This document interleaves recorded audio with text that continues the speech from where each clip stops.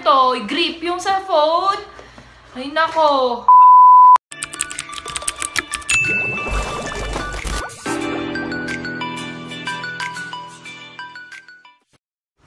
Hello, it's your girl Maria. Welcome back to my YouTube channel.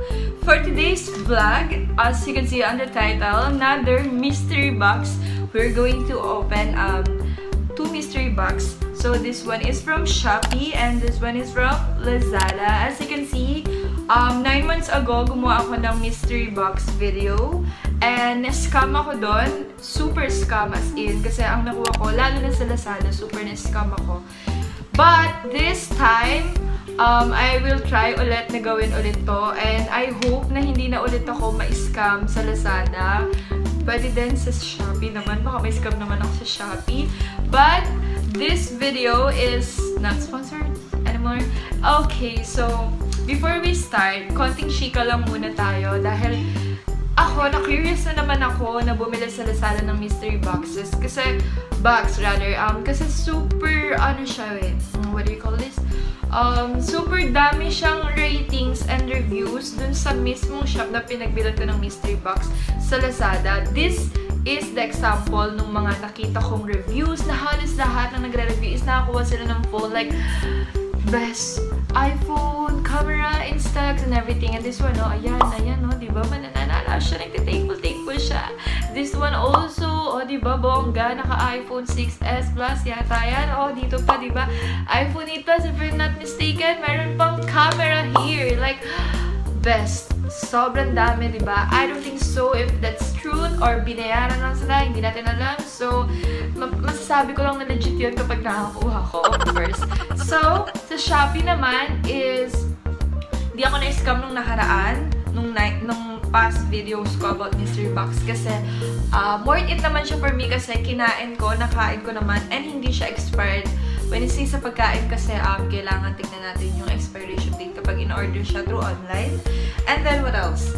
Um, ayun, sa Lazada, ito yung box ng Lazada, and it costs 199 pesos. So, di ba? Sobrang weird talaga if mananalo ka ng 199 pesos cellphone ang laman. Pero alam nyo ba, yung na-experience ko dati sa mystery box na Lazada is super gaan talaga siya niya. So, ito, medyo mabigat siya compare doon sa dating mystery box na nahawakan ko sa Lazada. At hindi na ako nag-expect ng phone to, Bessie, kasi sobrang hindi siya super bigat na. Alam niyo naman, di ba, pag phone, mabigat siya dahil sa mga box ng phone, if ever man. So, yes, unexpected na to, na hindi phone. Kasi unang pagtanggap ko pa lang dun sa rider, sabi ko, ay, talo na naman ako. Pero let's see kung magagamit o mapapakinabangan yung laman nito. And sa Lazada, halos lahat ng makikita yung mystery box na tinitinda doon, once na sinerch nyo, ay puro gadgets, about gadgets and everything. Bihira talaga yung about fashions and, and kung ano-ano man or pagkain. So, all about gadgets yung nandito. While dito naman sa Shopee is cost 199 pesos din. Pero, ang laman naman nito is all about fashion. Kasi kapag nag-search ka sa Shopee ng mga mystery box, ang lalabas doon is um, hindi siya about gadgets, bihira. Ang lalabas doon about fashion, about jewelry, yung mga ganun, makeup, ayun, and random stuff. So, it's okay. So, good luck sa atin. So, kung gusto nyo malaman ko nung naman ng dalawang mystery box na nabili ko from Lazada and Shopee, just keep on watching. Okay. Kuha tayo ng cutter. Dito lang sa likod ko yung aking study table. So, kukunin ko lang siya. And, anong gusto nyong una natin buksan?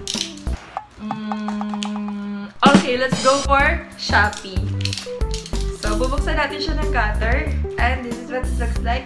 So, careful lang sa paghiwa. Alam mo, ang lucky ko kasi nakabili ako sa shop nito na naka-box and meron pa siyang ano ng Shopee, yung um, tape ng Shopee. So, ang cute niya. Kasi, di ba, kadalasan sa mga nagmi-mystery box sa Shopee is, minsan, pouch yung pinapadala niya. So, probably, hindi na siya mystery pouch. Hindi na siya mystery box. It's a mystery pouch na. Which is, hindi nakaka-thrill kapag ang Lazada box mo is naka-box siya. Tapos, yung kalaban niya is naka-mystery. Okay, so, hindi ko pa nakikita yung laman na. So, tatanggalin ko muna siya. Ay! kasama yung dito. Okay, so, bubuksan ko siya.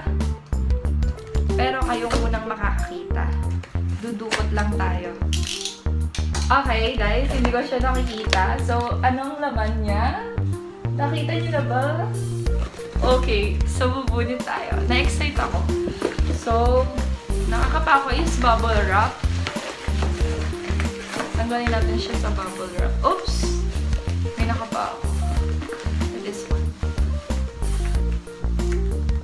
Oh my god! It's... You see this one?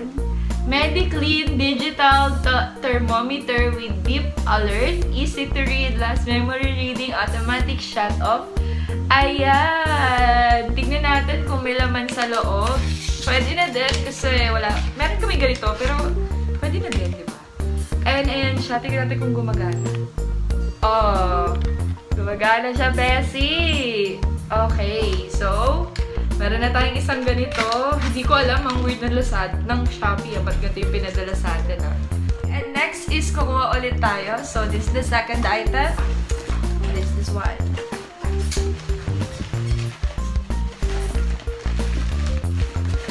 Hirap naman ko Okay! this one is a face mask or surgical mask. Wow!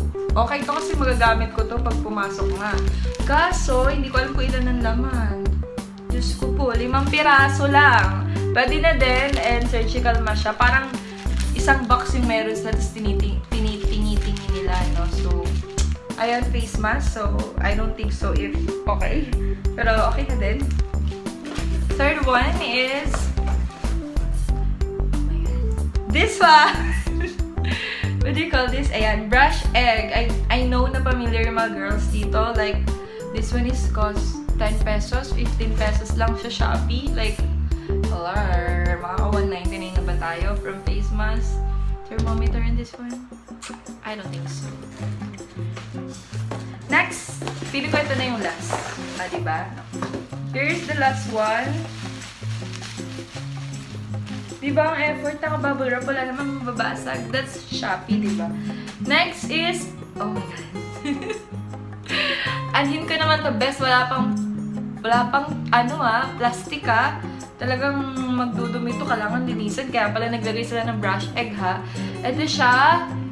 Anong tawag dito? Spoolie. And then may kasama siyang pangkilay na brush. Like, best. Hindi nyo pa kinumpleto, di ba? Dapat kinumpleto na nila na brushes, di ba?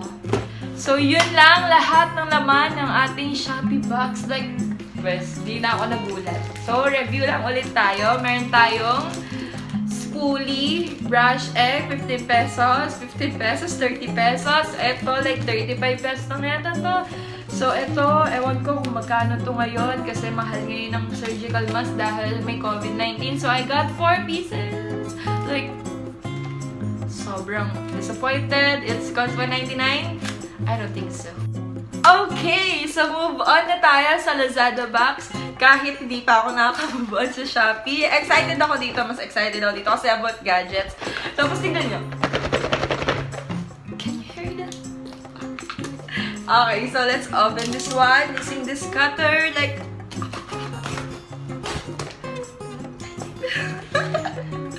excited na ako. Ay, ano ba yan?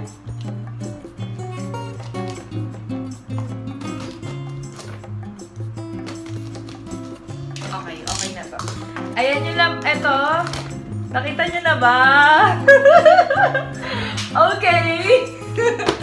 Alam nyo ba, nandito sa gilid yung kapatid ko. So, probably nakita na niya nung pagka-open ko. Like, best wait, sobrang init. Woo! Okay. So, let's bunot-bunot. One. Wow, ang daming kaon! What is this one? It's all about, oh my god, gadgets ulit. This one is, look at this one. I don't know what is this. This is a Do As One Wishes Liberating Hands Magic Suction Cup Mobile Phone Bracket. Let's open this one. Ngayon lang ako nakakita nito. Like, what is this? Look at this one. May nakasal na VIP. Ayan siya. Ayan. Sorry for my hands. Meron siyang lip tint.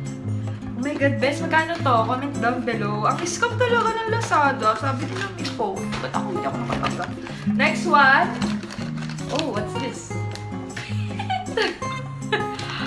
okay, it's an OTG USB. You're so ingay! Next, excited ka. Nag-vlog tayo, best ha. This one is an OTG USB. Like, for smartphone and tablets, best. iPhone tayo, di natin ito magagamit. Like, walang naka-Android sa bahay. Sorry for that. Next. What is the next one? Oh, I got this big boxes. Sobrang bigat. Wow! It's a selfie stick. Three generations drive by wire. Let's see if it is Bluetooth. Oh. So, ito yung itsura niya. Tapos, ayan, nako-connect pala siya sa phone. So, you can click this one. Ayan, no? Tapos, ayan. I don't know. Ayan pala. Ayan, selfie. Okay. This one is cost 50 pesos if I'm not mistaken. And next, feeling ko last na. Oo nga, last na. Feeling ko ano to, grip yung sa phone. Ay, nako. Ay, hindi pala.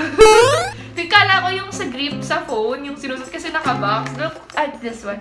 This is Samsung earphone. Samsung Galaxy S8 and S8 Plus earphones turned by AKG. Ayan yung itsura niya. Tignan natin kung may laman sa loob. Ay! Okay. This one looks like... Ay, God. Okay. So, okay. Tingnan na natin kung may laman pa. Baka may laman pa. Wala na. Okay, so review tayo ng laman ng Lazada. Like, super disappointing too. Pero wala naman na tayo magagawa kasi na-purchase na natin, nabayaran na natin. So, oh, it's a tie! Meron sila parehas na 4 items. Kagaya sa Shopee, it's a selfie stick OTG USB for smartphones. And, uh, ano to? It's a Magic Suction Cup mobile phone bracket and a Samsung S8 or S8 Plus earphones. So, that's it! Okay, best, no? So, yun lahat ng laman ng ating mystery box. Like, super disappointing, but nag-enjoy ako.